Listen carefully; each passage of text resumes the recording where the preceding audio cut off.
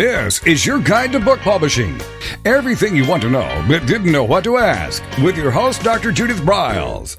On the show today, you'll find out where book publishing is going and how to take advantage of it, how to identify and avoid publishing predators, what opportunities are emerging as the book trade evolves in new forms, how to avoid losing money, and much, much more.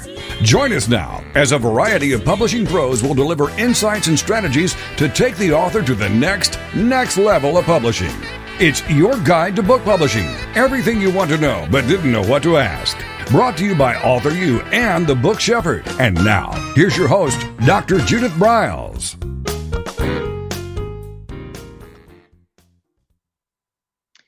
Well, top of the publishing day to all of you. And as you know, on the Author U, your guide to book publishing podcast, which is now six years old, that we always try to bring you, not try, we do bring you tidbits, insights, ahas, how to's to further advance, to kickstart, to pull you out of the um, sometimes the valleys of not getting stuff done so you move into becoming a published author. That's always our goal.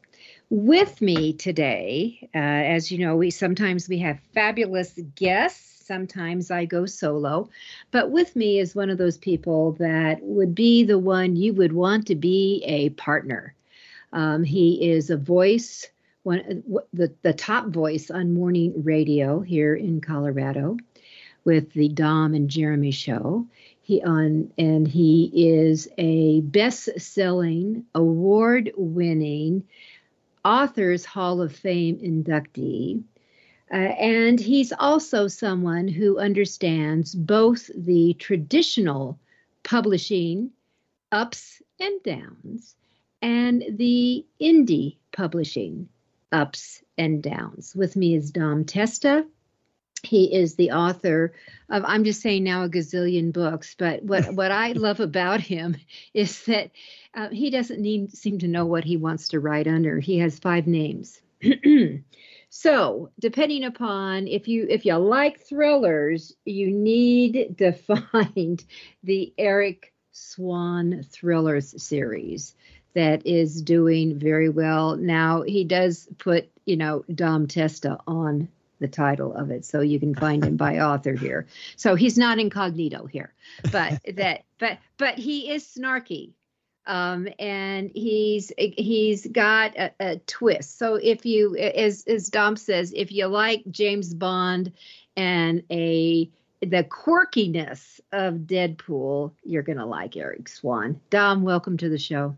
Well, Judith, it's great to be here, especially since you're the one who taught me so much about this business. It's uh, it's an honor to be here. Thanks for letting me uh, chat with you. Yeah, so you you know it's like when I uh, Dom years back in 1979, I paid someone seventy five hundred dollars to show me how to start writing.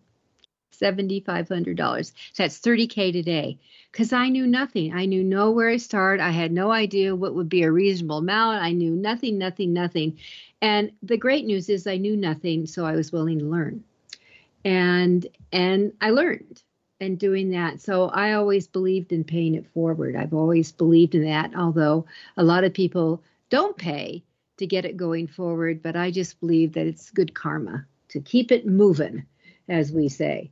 So yeah, yeah Dom, Dom and I got to play two weeks ago um, and in uh, September in Colorado, where he is this fabulous MC for the Authors Hall of Fame. One one of my favorite pictures, Dom, is the one where you looked in the bag that Penny Hamilton brought up, trying to figure out that is such a hoot. She's a character, but you know, so this interesting thing about that night was it was such a diverse.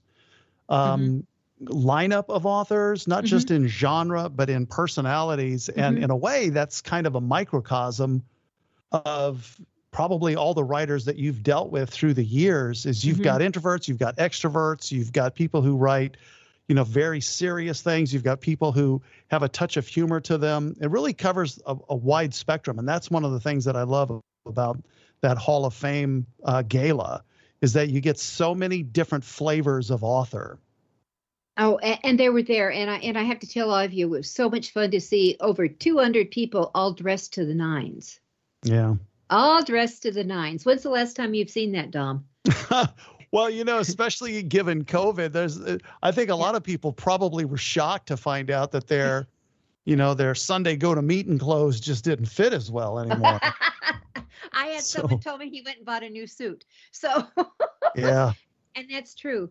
But you know, one of the nicest things about the event, and then we're going to jump into where is indie publishing going and all those other things, is that um, one of the guests who attended, he wrote me the next morning. He said, "I don't know how many countless months have gone by that I've been in a room where I felt so much calm, so much peace, so much positive energy."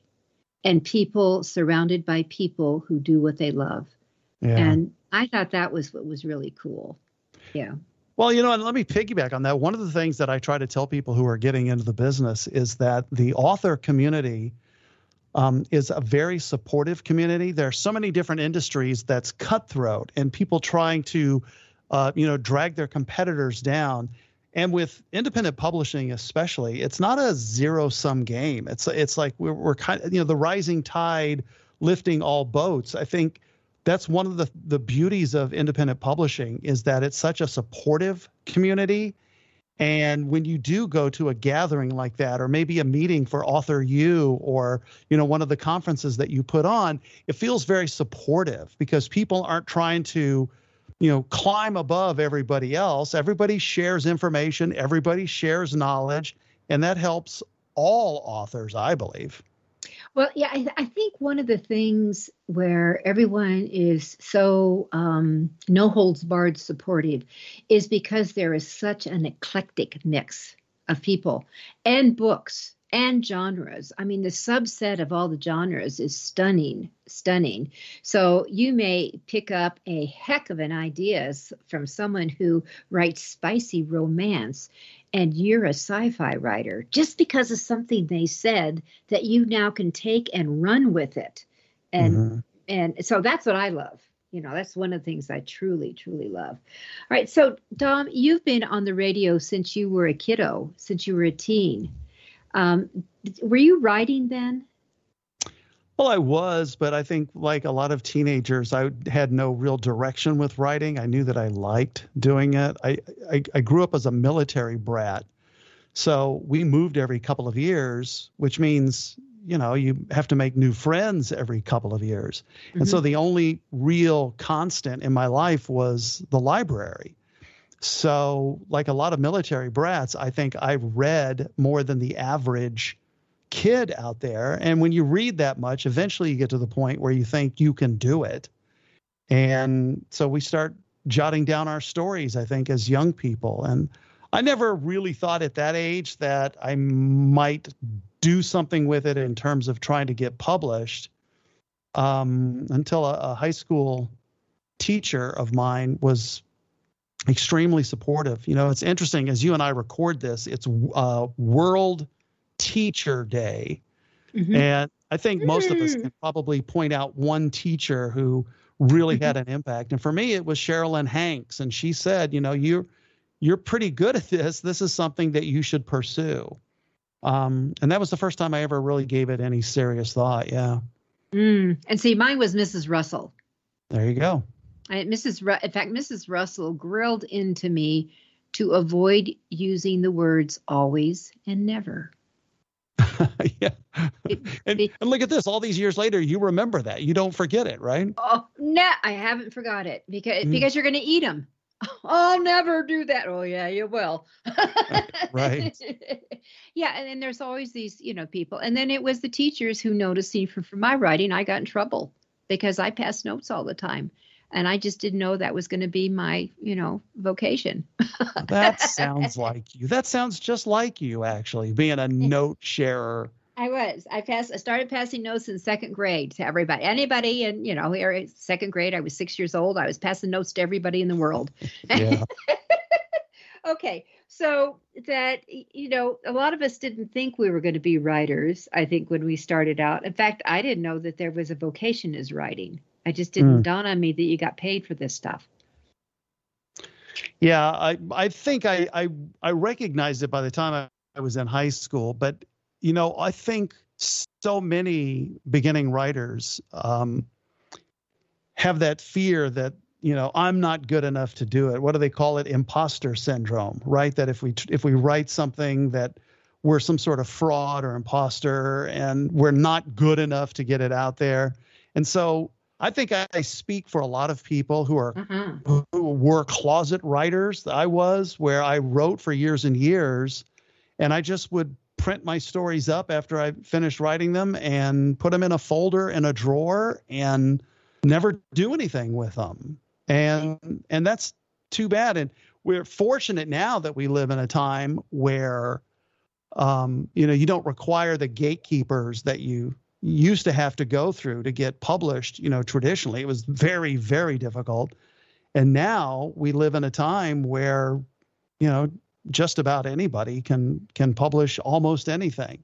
Although, mm-hmm. in a way, and, and, we could talk more about that. In some ways, that's good, and in some ways, that's bad, right? Like mm-hmm. I've heard somebody mm-hmm. say, you know, the good news is anybody can publish a book, and the bad news is anybody can publish a book. Mm-hmm. And my add to that is that when you look at the, the data is well over 80% of the population says they have a, a book in them. And I always add, but should it be allowed out? right. So, so, yeah. so, so, and that is the good news and the bad news. And, and when we, um, when we come back, um, after this first break, I would love to get in with you because you have you started as a self-publisher where it was called self-publishing. I mean, you probably didn't really think of indie. I'm an independent publisher. I was a mm-hmm. self-publisher, um, and then you went big time with New York, and now here you are. You're back joining us again, right? Yeah, got dragged so, back into the indie world. Dragged back in, and so as we go to this this this first break, I just want you all to know that the indie world is outselling the number of books as well as representing authors than traditional published today.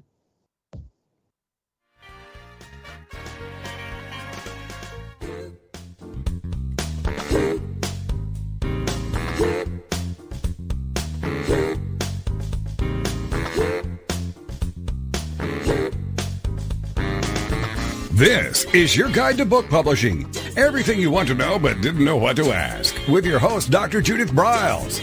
And we'll be right back with more great information right after these.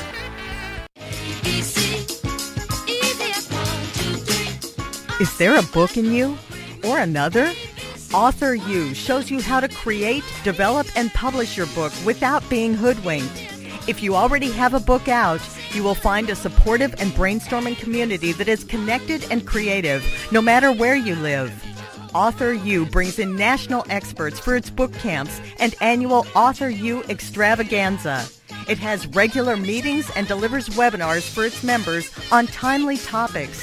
Through Author U's extensive network, members enjoy exclusive benefits, including significant discounts for a variety of services necessary to publishing. Author Use, the premier authoring resource in the country, creating community, education, guidance, vision, and success for the serious author. If you want to create a book that has pizzazz, punch, and panache, Author U is for you. Timely author and publishing tips and articles are posted on its social media platforms, and it is free. Discover Author U, where authors go to become seriously successful. Join Author U today at authoru.org.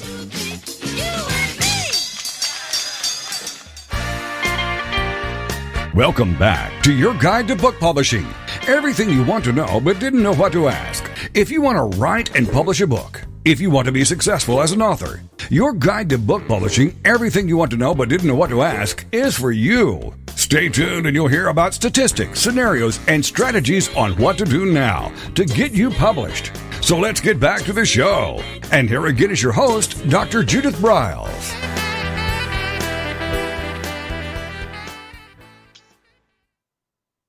With me is Dom Testa, and his latest book series is the Eric Swan, S W A N thrillers, and you will find them under Dom's name, um, like instead of hiding under one of the other many names he uses. Uh, but and he also has a great book called um, "The Color of Your Dreams," which is really for the author writer who's just not sure of where they're going, what they're doing, maybe a little fearful, and just a really a really good Kickstarter goose. So I'd recommend that book to you.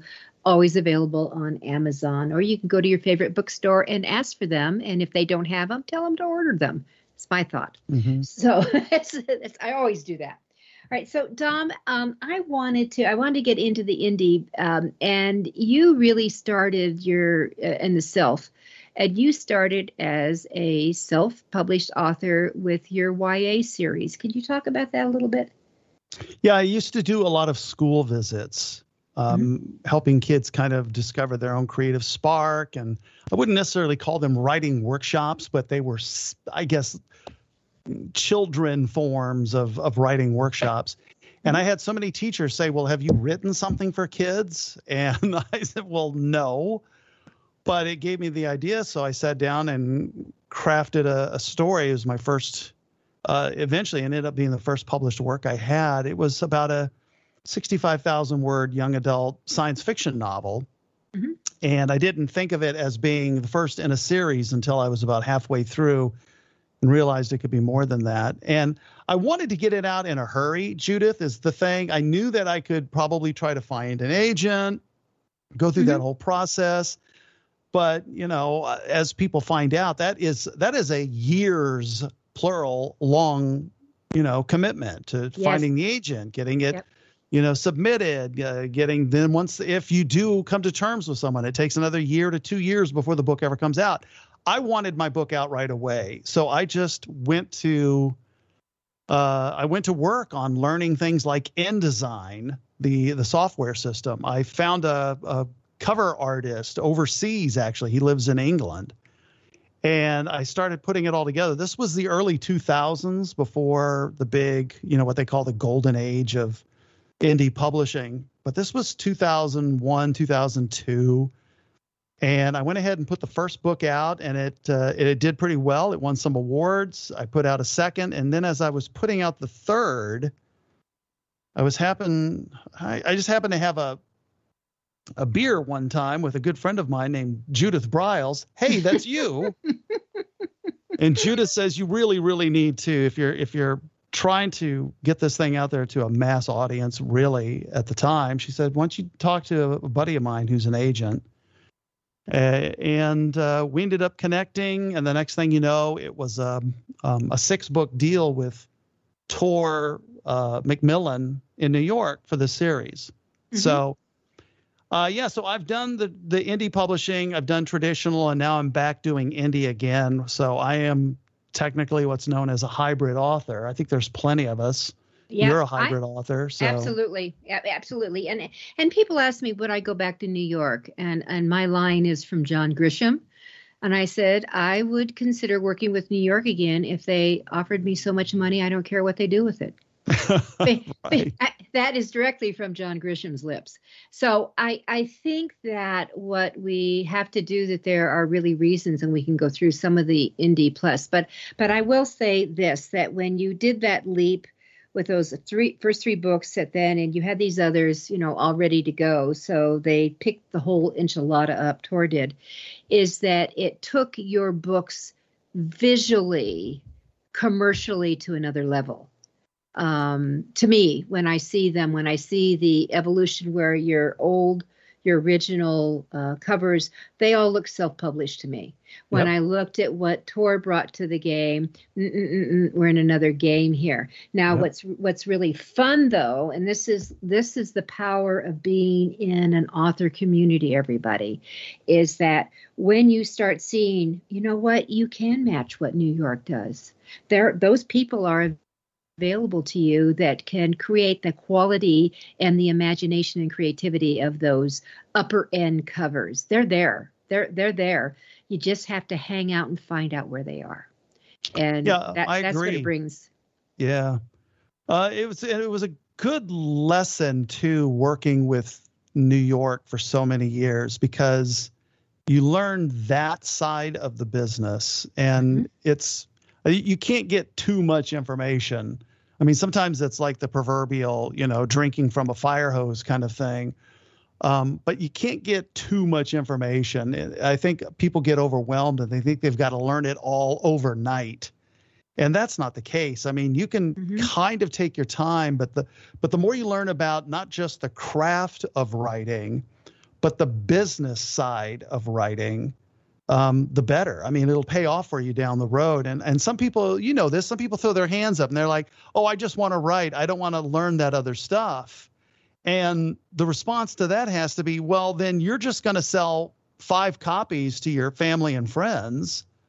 Uh, if you don't want to learn the business of the business, then you're pretty much going to be lost."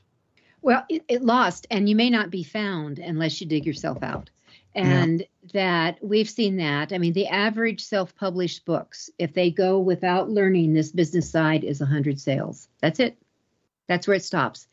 And and that's where you've hit all the low-hanging fruit. That's the family, the friends, the next door neighbor, the local craft fair, and the church. That's where it's it's that's where it's done.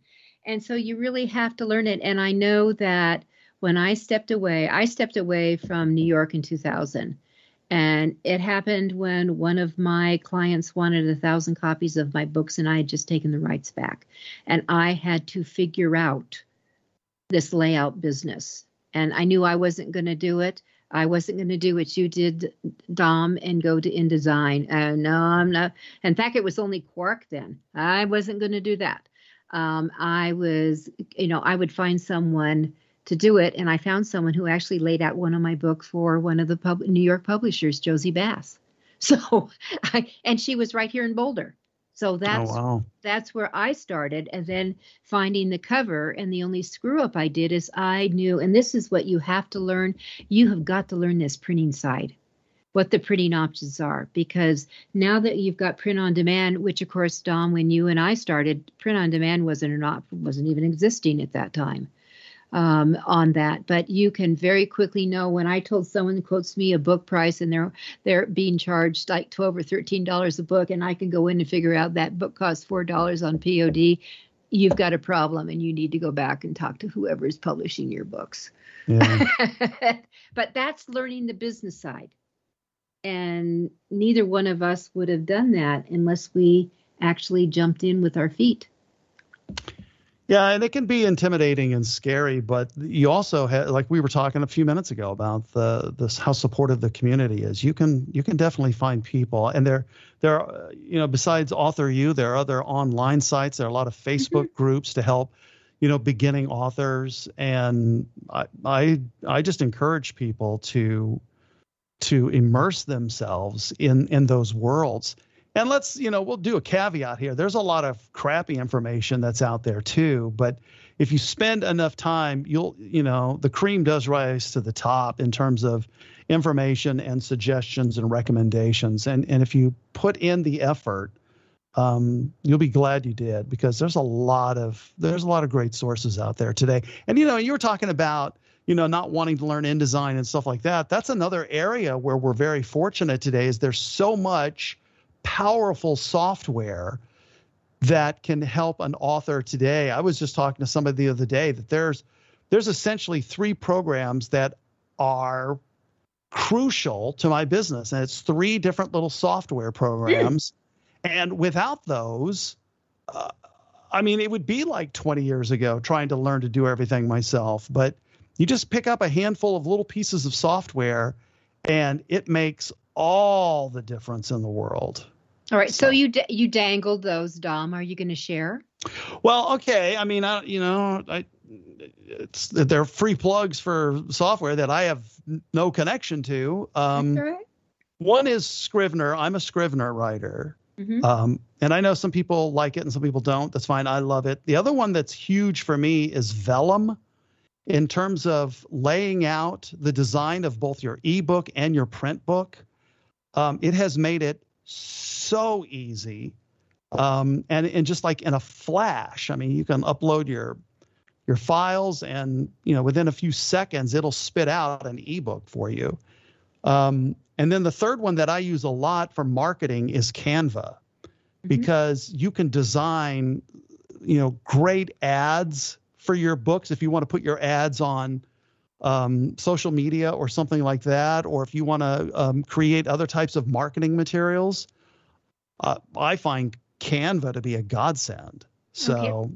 Let me give you a fourth tool you might want to discover, and it's called BookBrush. And, yeah, I'm familiar with that. All right, BookBrush takes Canva to another level and it's designed exclusively for authors. And they mm-hmm. have a whole free version like Canva. Canva also has a fee version. Um, it has a whole free version, but there's other windows can open at other levels. And in the platinum level now, which is you know like a hundred and something, it's it's minor a year, but um, that it will make book trailers for you, which is yeah. hot, hotsy totsy. So if anyone's interested in that, and uh, you know, Dom said he doesn't get anything. I don't get anything either. But if you decide you want to buy something, if you use my name, Judith, and the number 15, that just gives you a 15% discount. I get zero for that. Zero. All I did was negotiate a discount for you on the price. So super cool. Yeah, I've heard about it. I have not used it yet, but I've heard nothing but great things. So I will definitely it. check it out. It, it is worth playing with. I've done webinars with them, and um, it's it's when I'm seeing now the difference between the posters that are getting created on Canva and what we do on BookBrush. BookBrush is a level up. So just just saying, everybody. Um, but this is what the author community does. Here, Dom and I are talking. I'm hearing about, you know, I'm familiar with all his little goodies, um, but I was also able to share something he knew about but hadn't actually used. So it sounds like. Yeah. Yeah. So that's that's really really what you want to do. All right, we have a minute to our next break, but Dom, here's what I got sidetracked. So you started, you went in. Um, I remember because uh, you gave me the name of Larry Yoder um, at the bookies. And the bookies, of yeah. course, was uh, well presented at the Authors Hall of Fame, as well as Larry Yoder came with his own fan club. And True. It was like the Oscar. The Oscars announced and everyone came up and brought Larry with them because he was so influential. So when we come back from our break, let's talk about uh, let's open up what bookstores a little bit can do, and then I want to do. I definitely do want to get into what's evolving in the indie market and why authors should be taking a peek of it or you know what caution steps they need to have in play because i think that's important too. All right everyone we'll be right back with me as the fabulous amazing dom testa and you're listening to author u your guide to book publishing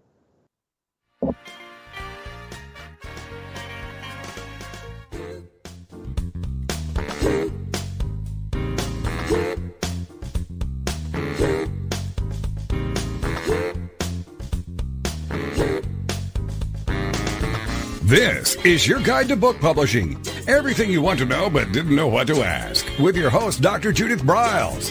And we'll be right back with more great information right after these.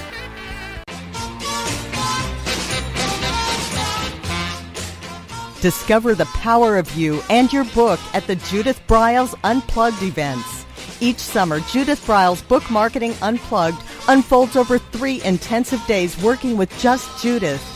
You get publishing strategies, author and book platforms, book marketing panache and pizzazz, and authoring tools to take you and your book to rock star success.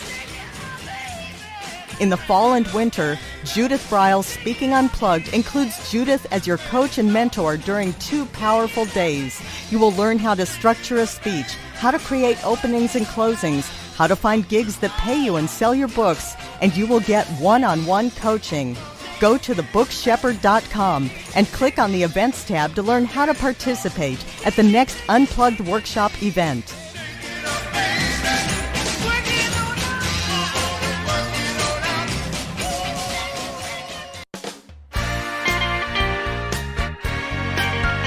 Welcome back to your guide to book publishing. Everything you want to know but didn't know what to ask. Coming up, you'll hear more about statistics, scenarios, and strategies on what to do now to get you published. So let's get back to the show. And here again is your host, Dr. Judith Briles.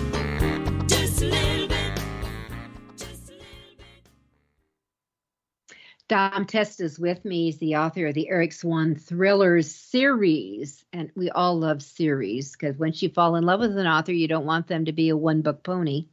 Um, and a wonderful book just for authors, authors at all levels called Color of Your Dreams. And um, we're just talking about a variety of things. I want to come back to your experience with New York before I forget about this. And did you come away with any big takeaways that that really dropped and became game changers for you, Dom? Well, it's going to sound like I'm dogging my publisher, and I'm not because I have nothing but wonderful things to say about them. They were the kindest people. Uh, you know, they I was essentially a rookie at the time, and they took me under their wing. But but what I did learn is that if you are not Stephen King or John Gris- Grisham or James Patterson or somebody like that, um, you're not going to get uh, as much in the way of support that you might think. Like, I th- you know, we all have this dream that hey, if I get signed by a major publisher, oh my God, then I'm a million selling author and Hollywood's going to keep, you know, calling me and and that's not the case. I mean, you still have to do essentially all the work yourself in terms of getting your book noticed and out there. And that was a that was quite the eye opener for me because I assumed when they said, "Hey, we're signing you to a six book deal," I was like, "That's it, you know, I'm on easy street." And it's not the case. And it's one of the reasons why, if you're going to do independent publishing, to me, you're you're maybe not doing um, as much work when you're with a traditional publisher, but you're doing enough so that it doesn't justify the difference in what you get paid from a traditional publisher versus what you make as an independent publisher, if that makes sense. It's you have to do so much more work that you might as well just be publishing it yourself and taking the lion's share of the royalties. I, I think you would agree with that. Mm-hmm. I I think that you know I I can nail down very quickly what people are going to make. Most most of these books that are coming out from New York are going to be in a paper format versus a casebound or hardcover deal. And if that's the case, if if you all of you dear authors if you sell what is traditionally being sold and i don't know if you, the, you know these numbers but right now the traditional mid-list type book dom sells 5000 copies in its life cycle with a mm-hmm. published deal so that means you're going to make it the royalty base for under 5000 with a new york publisher you're going to make anywhere from 47 cents up to about 70 cents a book that is not very much money. That's chicken feed when you think of all the work you do in.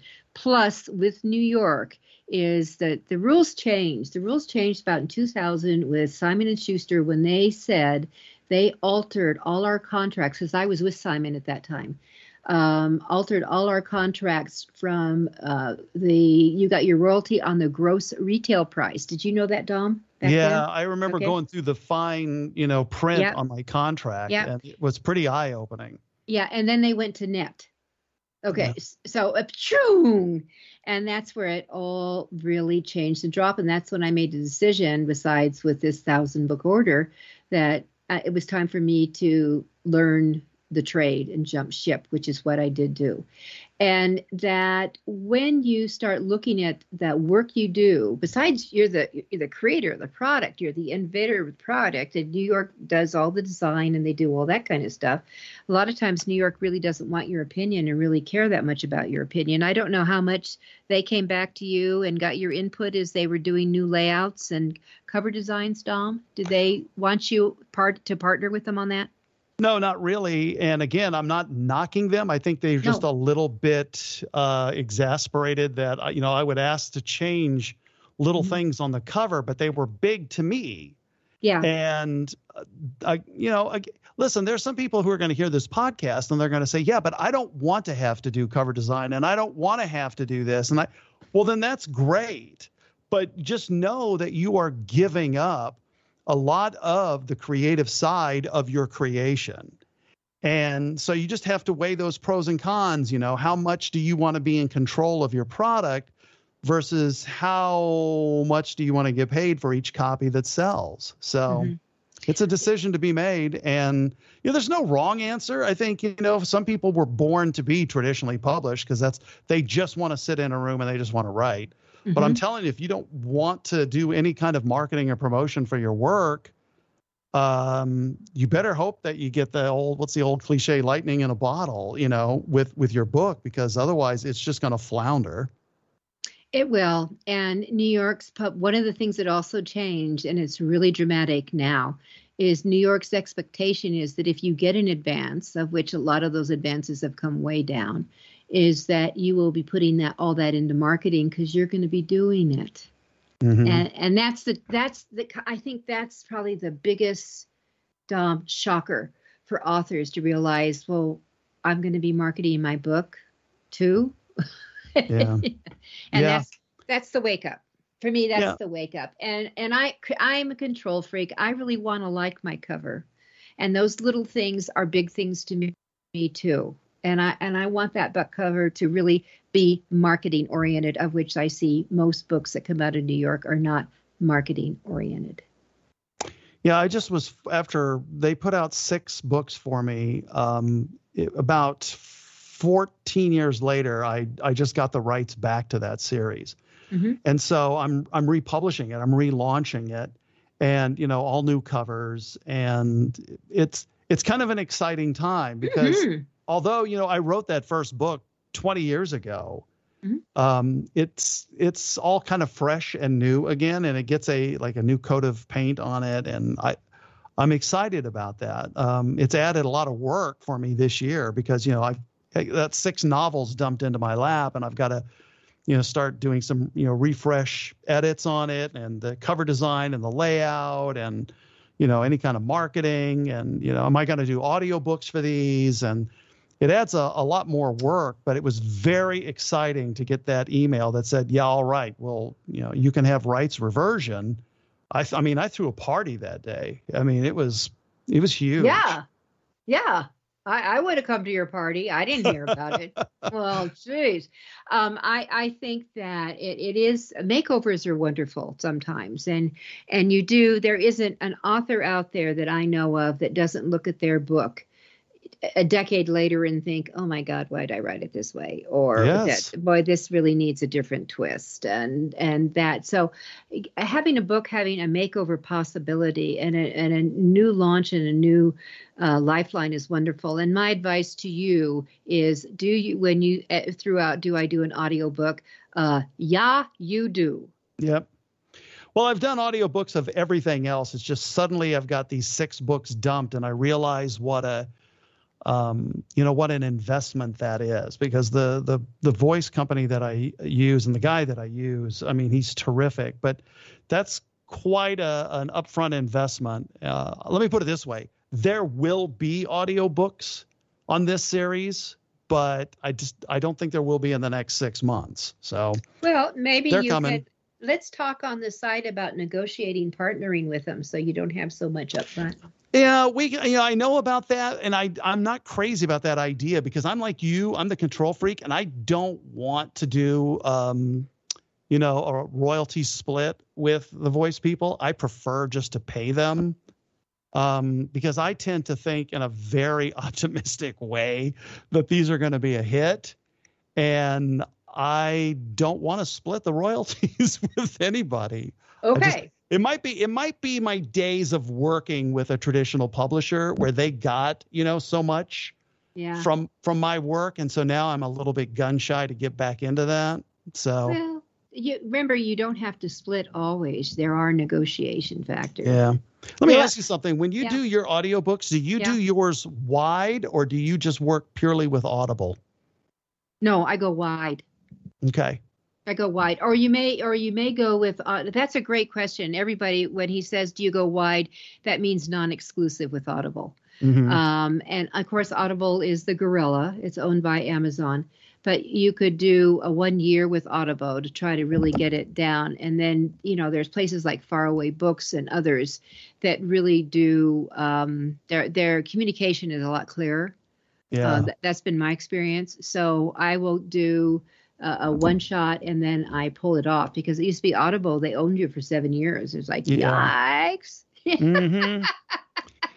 no one owns me for seven years. yeah, I'm I'm rethinking a lot of the whole um, exclusivity, uh, Yeah, yeah. regardless of the format, because even with that Eric Swan thriller series, that has been exclusive to Kindle Unlimited since it first came out about a year and a half ago. Uh-huh. And starting in just a few weeks from now, from when we're recording this, it will be going wide onto the, all the other platforms, you know, Apple and Kobo It and should. Barnes It and should. Noble and places like that. So Yeah. that's an interesting debate, you know, that sometime we can get into as well. And I don't know how much you donate your podcast to talking about the pros and cons of being exclusive versus being wide, but I'm I'm shifting towards wide all of a sudden. You know i've never had a dedicated show to that but i you know i think that you got number one you have to be on amazon i mean people who still poo poo amazon look at if amazon hadn't come up i guess someone else would but if amazon hadn't come up the whole self-publishing market would have had no portals Yeah. to go out. I mean, it has done. It's certainly got its share of hiccups, but um, I, overall, it has done immense, immense pluses for the independent market and moving it out. And that's not to leave. Dom did mention um, that he has a wonderful story about a, a small independent bookstore here in Denver where the owner bought six copies of his books um, and he ended up crying because he just couldn't believe my book was accepted, and he walked away with cash in hand, and and so it's you do need to know who you, who's in your community that can help you. But there's so many ways. I mean, Dom, I have one of my clients sold 10,000 copies of her books between the months of May and September over a three year period, just showing up at little craft shows Oh in, wow. the, in the community. Um, and that's how she did it. There's just so much you can do, but that's where the author community comes in hand to help you out um, in that. So, and here we are. Dom, Dom and I have been talking. We're up to our final break. But so, Dom, we have got to come back to what's the prognosis on the independent market? Where is it going? What do you see? You've now rejoined it again. We're so glad to have you back. Um, and and some of the hiccups. Um, and that one of the hiccups with being with New York is you're not in control. I learned that very quick. They didn't care about my opinion, and I'm just thinking, but I'm the author, you know. I so um, they have their own ideas, and that's where you've got to figure out if the Jennifer of the month in the publicity department is actually someone who reads your genre, and if she's doing your whole and if, and if she, and if she's doing your whole marketing plan to someone that you don't even write for. Oh, oh, all right, we'll be right back.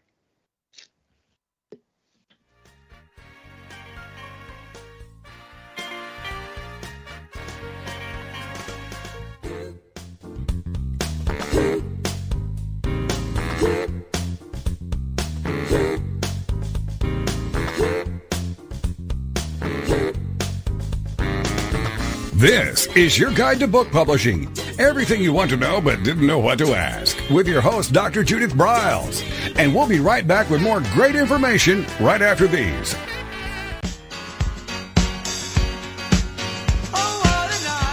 Are you confused about publishing options? Do you know which printing option is best for your book? Does your stomach flip when you think about selling books? Or do you feel overwhelmed with what to do about book marketing and publicity? Get the answers and much more. Get them and from someone who knows publishing inside and out from both the traditional and independent sides how to make a successful book. You can't do it alone without paying the price. You can spend your money creating a book that turns out to be so-so, or you can create a book that looks and feels classy, builds your brand and platform, and is a success, a bestseller. It is your choice. You choose. If you want author and publishing success, you want Judith Briles as your book coach. Sign up for her weekly blogs and e-zine at thebookshepherd.com.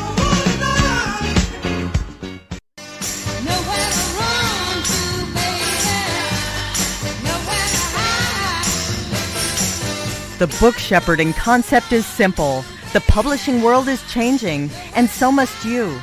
You need an experienced shepherd and guide to collaborate with you as you create, strategize, develop, publish and achieve your publishing goals. Publishing is riddled with obstacles, sometimes nightmares for the author.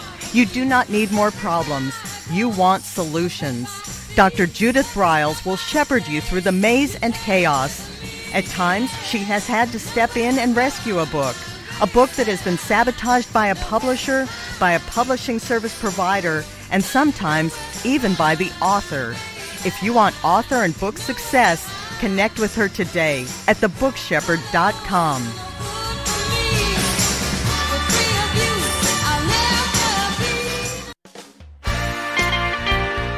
Welcome back to your guide to book publishing.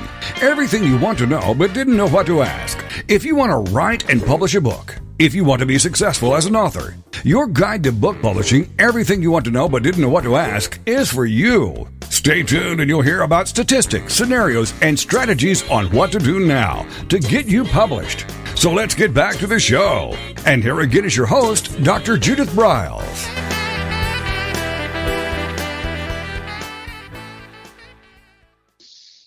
With me today is Dom Testa, one of my favorite people in the world. I just kind of wish he hadn't moved out of Denver.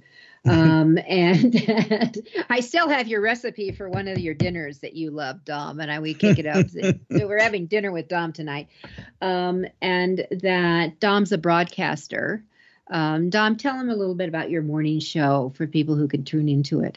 Uh, I've been doing the morning show on Mix 100 in Denver since 1993. Um, I I started hosting that show the week after Bill Clinton was first inaugurated. Wow. So, you know how long ago that was. Wow. And yeah, coming up on 29 years here in just a few months. And uh, yeah, you, you know, if people are listening to your podcast anywhere in the world, they can listen to the morning show anywhere in the world. They just have to look for uh, Mix 100 Denver on their app store on their phone. It's a free app. They can download it, Mix 100 Denver, and uh, they can listen anywhere. Yeah, and, and sometimes everyone, it is so knockdown funny. You're, either going to become incontinent or you're going to have to just pull off the road if you're listening in the car and just listen for a while. Well, that's right. very kind of you. I work with a very funny guy named Jeremy. He is super talented. So we have a good time every morning. Yeah, which is a great way to start off the morning. All right, so um, that one of the things that let, let's kiss on before we go. We I want to do the wrap up with with what's going on with indie, but let's kiss on fear and doubt a little bit because all authors have the fear. I mean, I, I've had people saying when I'm looking and they brought in a hundred thousand word book and I've read the first three chapters. I've got a feeling of the writing. I know where to go. I know what level of editing it's going to need, etc. And they are appalled that I can make that decision just reading a couple of chapters because they're so fearful. There's such doubt. Yeah, and I, you know, there's uh, y- you and I both hear from people all the time. You know, hey, I want to write a book. I want to write a book. I want to write a book, and that's, you know, why don't you? It's like, well, I don't think I'm good enough, or well, I've written the first chapter a hundred times, but I can't, you know, I can't get any farther than that, and I know that that kind of breaks my heart because even people who've put out you know 20 or 50 books still have that doubt but at least they push through it. Um and and i and i just always felt bad that that people were being held back by those fears like oh i'm not good enough or look even the people who are best-selling authors today they grew up reading books by people that they idolized and they thought oh i'm not as good as them. So i put together i wrote a nonfiction book just a couple of years ago called the color of your dreams uh, stolen from a line by John Lennon in one of his songs. And the whole idea is not to teach people how to write. It is not a book on craft. It won't tell you how to write a book. But what it does is it helps you get through the mental blocks that you have because we all stumble over those. Um, I think fear and doubt are the two number one things that hold people back from finally publishing a book. And, and so that's why I wanted to put that out a few years ago. I, I, I think it's a, it's a crucial problem for a lot of would-be writers. Well, we all we all have stumbles um, on that, and I hear that all the time. That, that I I always talk about the vulnerability factor, and one of the factors which goes along, it really right is up there with the fear and doubt that when you do finally publish, you open up the vulnerability window, And people will say things that are also stunningly wonderful and sometimes stunningly awful. Have you ever had that experience, Dom? Yeah, I have because you know even the the people who've never written anything feel Mm. sometimes like they're an expert on Yes, on exactly. everything. And and you know it's it's like the whole one star review too that people are are afraid of that like oh I'm afraid you know what if people give me a bad review well here's what I like to point out to people go onto Amazon today and pull up a book like uh, To Kill a Mockingbird all right and look at the number of one star reviews and if anything, that should boost your spirits a little bit to know that those one star people are out there and it doesn't even matter how good of a job you do writing your book. There are just trolls out there who oftentimes are frustrated writers and they are going to rip everything. So that actually should make you feel better. It's like, pff, God, if if you know Harper Lee got one star reviews, uh, I'm to go for it because you're writing for the people who like what you do. You're not worried about the people who are to bring you down. You're writing for the people who will appreciate what you have to say. And that's all you have to keep in mind. Don't even read the s- snarky, gnarly reviews because those are just sad, angry people. That's that's those are the people who write one-star reviews of books. They're just sad people, in my opinion. So Well, I, I agree. They're trolls, sad, and angry. And here's the other thing that I've discovered people who get snarky or really critical are often really envious because you wrote the book and they didn't. I'm sure that's true.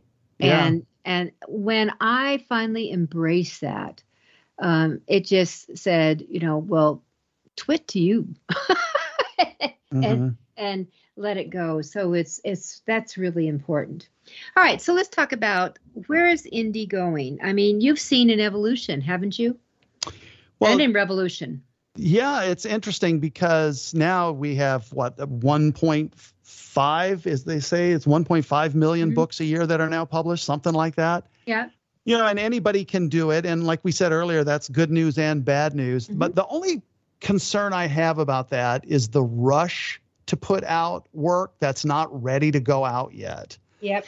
while I encourage people to get that book out of them and work on it and publish it, I don't encourage people to vomit it out in about two days and have it online on sale two days after that.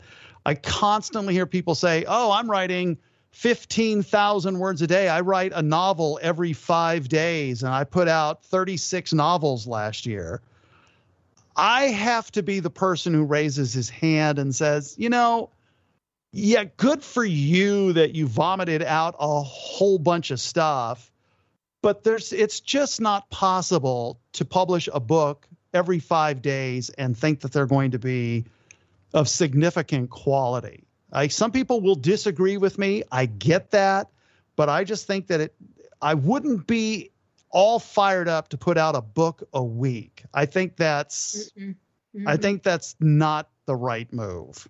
Well, because what he- that does then is it brings down in people's minds the quality of all independent publishing, right? If we have enough indie publishing that is garbage, then suddenly it's going to go back to the way it was 15, 20 years ago when you, you know, had newspaper editors who all said, well, I'm not going to, you know, uh, say anything about indie books because all indie books are garbage. Well, we all know there are a lot of indie books that are some of the best books written, period. Mhm. But if they're surrounded with a million books that people just threw out without any, you know, thought put into it, without, you know, uh, any real, I don't know, dedication and intention of making it the best book you can make it, I think that hurts everybody. So I would encourage people put out your book, but put in enough time that you feel you've given it your very best shot. Well, and, and add to that, if you're vomiting a book every week, or even two books a month, like because they're out there too, is that un- unless you have a machine behind you to promote them, all they're doing is polluting, because you're not putting any care into nurturing them, to teaching them to walk, to grow up, to building a fan base for people who are looking for the next book that comes you know, out of your your house, so to speak. Um, that's been that's really my experience because that you know when you're looking at that 1.6 million books that are being published every year that have that has an ISBN. th- There's a lot that don't even have an ISBN, Dom, that are not Yeah. being counted in this number. So, you know, I going back to what I said at, at the beginning of the show, you know, should your book be allowed out? I don't know.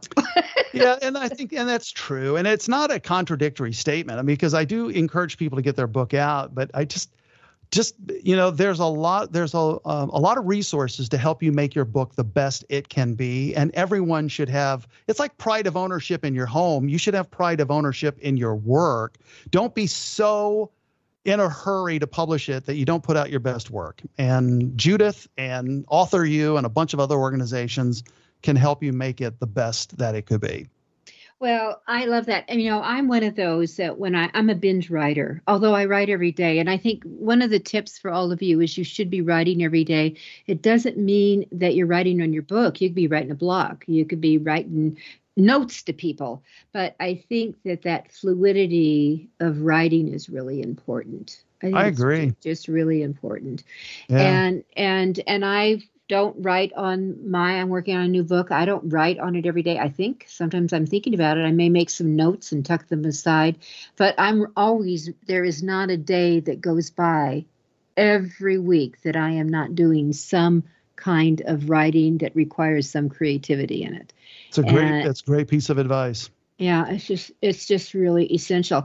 And I might throw another one is that I think it's really important to exercise what your hand can do in the writing. That there's there is just there's a connection when you move that hand with your heart, your head, and all that. It's it's um I mean I I remember reading I can't remember the name of Tom Hanks' book, but I discovered he has over 300 typewriters and he collects typewriters and he likes the click of a typewriter. And so, I That's mean, funny. I did not know that. yeah. And, and so sometimes, you know, that manual. Do you remember when, uh, when d- you took a typing class, right, Dom? You bet. All right, so we did the quick brown fox jumped over the fence, right? And and we did that, but there was that you know that mechanical that you because you were moving your arm, you were focused and concentrated in it. I think we've lost some of that. And with that, we're at the end of the show. Dom, any other tip you might want to add in these last few seconds? Oh, besides writing every day, read every day because I think the Ah, best writers yes. are people who read all the time. So Absolutely. Uh, that's an amen. And if you're not reading in your genre of what your competitors are doing, you're making a mistake. You need to stay current, people. thanks for the time today, Judith. You're welcome. Dom Testa, thank you for being with us. And Author U, your guide to book publishing. We'll see you next week.